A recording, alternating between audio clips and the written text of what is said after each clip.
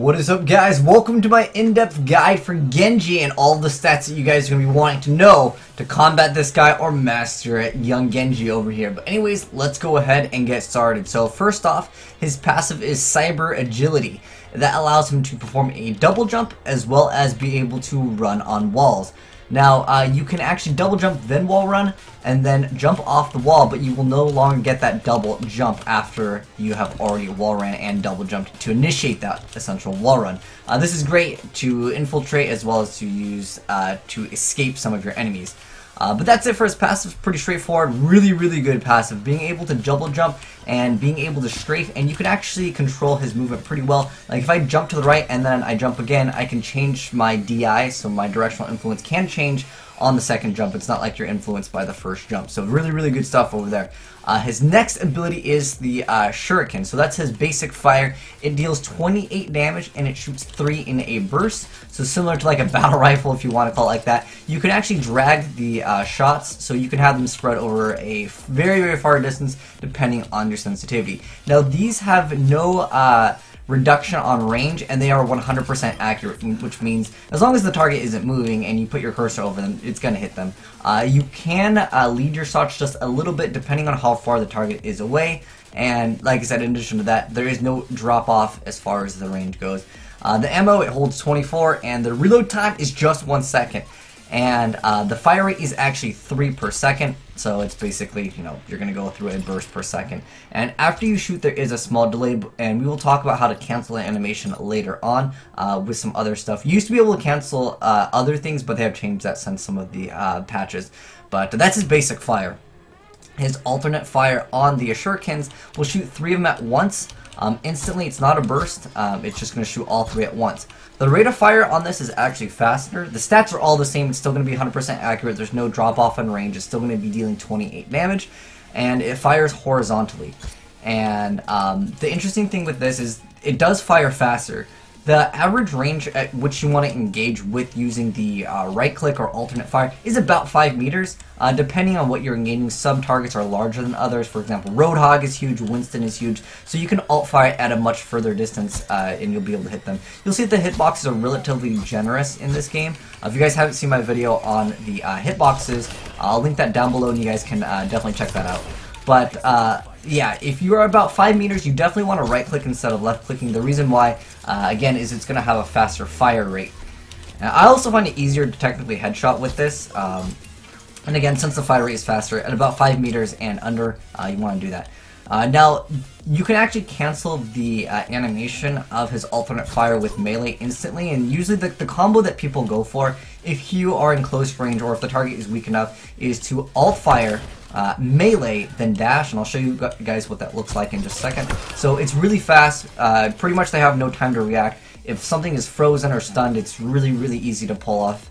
Uh, just a really like easy bread and butter combo, and then you know, obviously you get your reset. And you can repeat this uh, tons of times. If Mei freezes something, maybe if Reinhardt, you know, ground slams and hits them all, you can use that to your advantage. So I'll show you guys once again what that looks like. So he's dead, and you can do this in game. It's a little bit harder, obviously, when the targets are moving, but you can see Genji is very, very viable.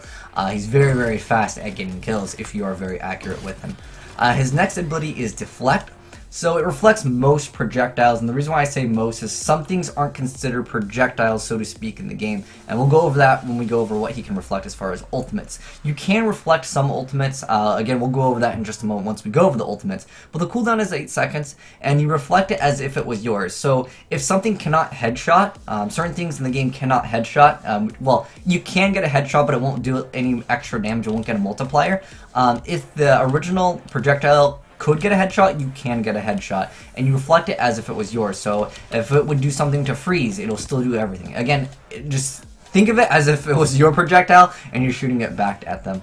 Um, you cannot reflect these ults. Uh, D.Va, when she ults and she uh, sends her mech out to self-destruct, you can't reflect that. You can't reflect Junk uh, Junkrat's uh, ultimate, the RIP-Tire, or uh, Reinhardt. Uh, you cannot reflect his uh, ground stomp. I was thinking maybe since it's uh, something that's going on the ground, you can consider that kind of projectile. But anything that is melee, so Genji cannot reflect Genji's ult because Genji's ult is uh, a melee attack anyways. I know it, it has extra range and has different stats, but for the most part, you can't reflect those ults. You can reflect Mei's, you can reflect Tracers, you can reflect Reapers. Obviously, things like uh, oh, Lucio's sound sound barrier. You can't reflect that. That'd be amazing if you could reflect it and it would work on your teammates. But um, you can't reflect Mercy ults. I think that's a given. But I just wanted to tell you guys you can't reflect D.Va, Junkrat, or Reinhardt because those are some things that I think maybe some people had questions about. But obviously, if it's a melee ability, uh, yeah, you can't reflect it. Now, um, if if you reflected another Genji's, uh, well, if someone shoots at you, you reflect it, Genji can infinitely reflect. So if you have double Genjis and say the cooldown was short enough, you can infinitely reflect that one projectile. There's actually a, a Japanese video where people were playing badminton. I'll link that down below in the description box if any of you guys want to check that out, but the deflect can infinitely deflect over and over. Uh, again, that's if there's like another Genji there. Uh, but yes, uh, yeah, you can't deflect every ultimate, but you can uh, deflect quite a bit of them. Uh, next up, his next ability is the Swift Strike. So that's on a cooldown of 8 seconds. You dash 14 meters, so let's go ahead and go and show what you what 14 meters looks like. It hits up to 16 depending if they are in diagonal. If you guys haven't seen the video on the hitboxes of this game, so this will be 0 and uh, this enemy would be uh, 20 meters, so that means if we sit here at 5 we should be able to hit them. But uh, this is this is going to be 5 meters. I'm going to sit about, about 1 meter back and I'm going to try to hit him from the side. You guys will see, that, again, the hitboxes in this game are a little bit strange, but uh, let's see if we can get this hit. So you can see we still get that hit, uh, even though we were a little bit further back. You dash up to 14 meters. Then, of course, this, uh, the dash is going to have uh, a little bit of range on that. But in addition to that, depending on the angle at which you hit, you could actually gain one meter of range. Uh, again, if you guys haven't seen the video of the hitboxes in this game, I'll link it down. Certain things work better at angles. It's just the way the game works um, and it deals 50 damage to everything in the path. So let's say I get uh, this training bot really weak and this training bot really weak, I can dash through and it'll kill both of them. It doesn't matter how many targets are in the way, you will dash through them. You can also dash through objects, so if um, there was a like uh, a Reinhardt and a shield was up, you can still dash through that. Uh, really easy stuff. But um, certain things you cannot dash through, like, okay, well, some of these uh, barriers you can break. Let's, I don't know if there's any in the training room that uh, you can break. But yeah, you can go through certain objects. Again, it just kind of depends on the object and uh, initially at the level. Let's see if we can. Some of the sometimes uh, it'll path around. You can see that I wasn't able to go straight through it. I was seeing if I can use this as a path. Um, they have patched a lot of walls and areas where Symmetra could set up her turrets, so they're, they're going to be patching a lot of things. But uh, some objects you will path around. Like you'll see where I'm aiming right now, and if I dash through, I will still go to that intended target essentially, although this would be blocking my path. So there's a lot of stuff with Swift Strike that is a little bit strange, um, but there are a lot of walls in this game that don't work properly. Again, if you guys haven't seen the hitboxes, uh, highly recommend you guys to watch that video. You'll see that there are certain walls uh, that just behave weird, and you can see this rounded wall. Like the the, the shurikens or ninja stars shouldn't be getting stuck on this, and this one goes out pretty far. Like you can see, I should be able to shoot right here, but uh, it is getting stuck on uh, this wall over here. But yeah, there's a lot of strange stuff on certain walls again. This should be patched anyways. Uh, this does, again, reset on kills, so if I was to get this target low um, and I was able to uh, Swift Strike, as long as I get a kill or an assist, uh, I will be able to reset my Swift Strike. So basically, it's uh, the only hero right now in the game which has like a on-kill uh, reset, which I really love. I wish you got Deflect also, but uh, that's asking for a lot. But uh, anyways, uh, let's go ahead and go over the next ability, which is going to be his ultimate. So there's a lot of stuff that people don't know about with his ultimate. So his ultimate has a cast time. During that cast time, when it is going up, so if I uh, go ahead and, show you guys, during this cast time, I can't do anything for a short period of time. That short period of time is one second. It lasts 8 seconds, and it refreshes Swift Strike uh, as soon as I activate it. So if I've already used Swift Strike and then I use my ultimate, it'll reset it and it won't be on cooldown, regardless of what the time is. Um, your basic and alt fire will be replaced, however, you can still use Swift Strike and Deflect. Um, and um, it is a melee attack and it has uh, extra range. The range is 5 to 6 meters and it deals 120 damage. The fire rate is 1 per second, so you can hit uh, reasonably 7 people. Uh, the reason why is because uh, majority of the time, if, I guess you could technically hold it down, but you want to actually try to time some of your stuff, and we'll get into that uh, once I show you the animation canceling with that. Um, you can use all of your abilities during the ultimate. Uh, obviously, you won't be able to have access to melee because it, it, doesn't give you that access because you're replacing your um, uh, your basic and alt fire with uh, melees.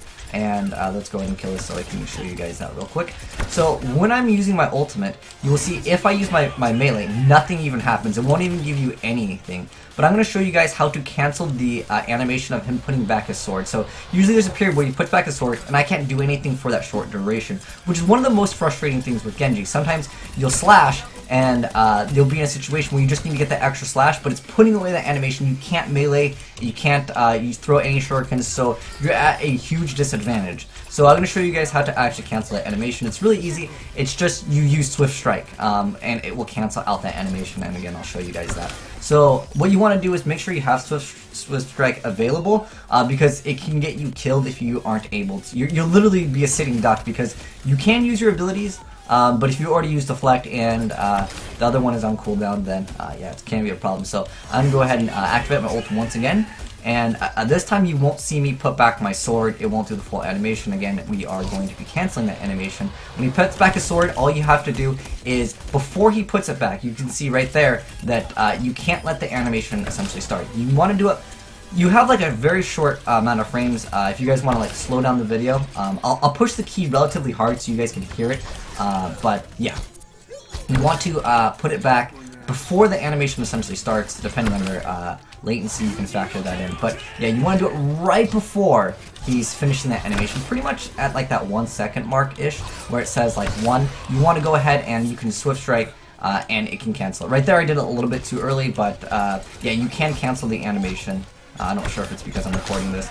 Uh, it's slowing it down. But yeah, pretty much uh, you want to time it so you can uh, not have that animation be seen, and that will cancel the animation. And that's actually very, very important uh, to be effective with Genji. Um, some of the uh, questions that I had when I was playing Genji, when I was live streaming, some of you guys asked this a lot, and it's why do I right click so much? So now I'm going to go over some of the more subjective stuff. I've pretty much covered all of the stats that you guys are going to be wanting to know. But um, one thing that is relatively important is that you want to be able to um, reflect versus a Mei. The reason why uh, I do it quite often is if a Mei is freezing you, um, you can definitely dash through, but sometimes you've already killed the target and you don't have access to that.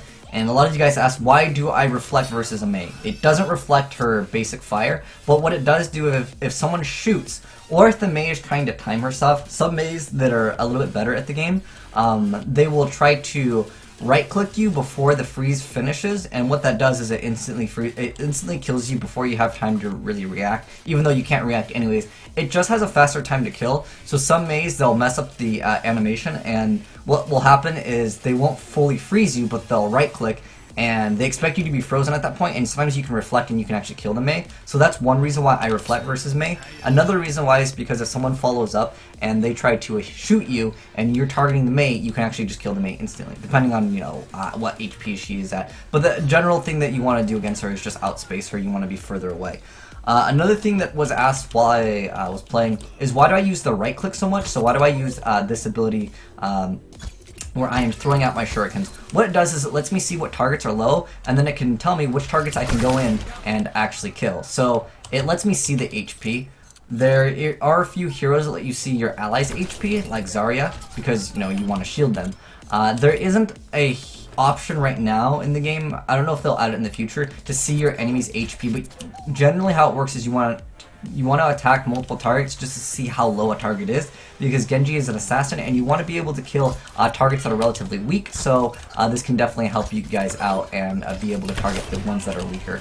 So you can go ahead and get your kills and uh, also the uh, right click uh, or the alternate fire fires faster so um, as long as you're hitting them with two or more, uh, essentially, because it, it is 5.8 seconds, it's not twice as fast, but pretty much as long as you're hitting with two, you're pretty much getting the same DPS.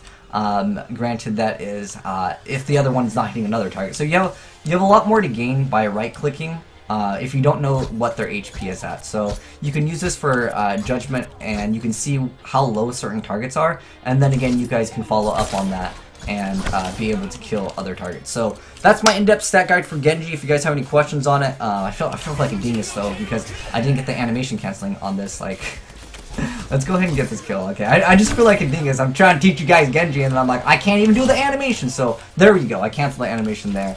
I just felt like a, a, freaking like scrub over here, like showing you guys a tutorial on Genji, and I can't even get the animation canceled again. Uh, I'm, I'm, recording this at a very high bit rate, so on the main Mac computer 205 me. But uh, yeah, I hope you guys learned something new, and hopefully this will help you guys out as Genji, learn the stats and stuff like that, and also remember to cancel that ultimate animation. It is really, really, really, really, really important.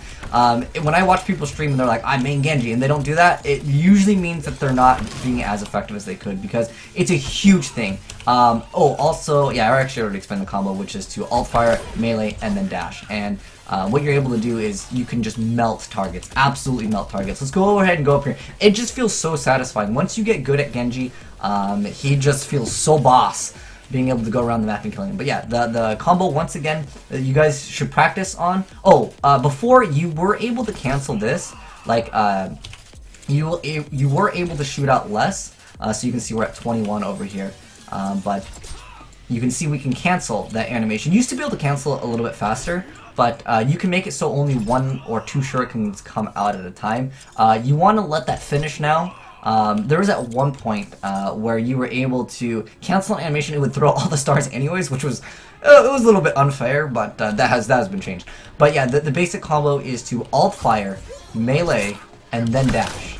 Remember, right click, melee, dash, and that will 100 to 0 a lot of targets. Granted, that is you're getting headshots, and that is granted that all conditions are in your favor, but it doesn't happen too often, but once you master it, it feels so dang good just to be able to go ahead and do that to multiple targets. It's just, oh, Genji just feels so good. But I could rant about how much I love Genji for 69 years. But yeah, hopefully you guys learned something new. And if you did, be sure to uh, let me know uh, what you learned. And uh, if there's anything you guys felt like I missed out on Genji, definitely let me know because uh, he is my main for sure in this game. But uh, anyways, thanks for watching, guys, and I'm signing out.